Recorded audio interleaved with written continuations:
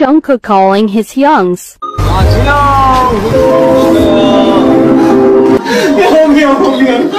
아, 자 남준이 형 남준이 형 지금 신발 벗었어 태영이 형을 데리고 올래.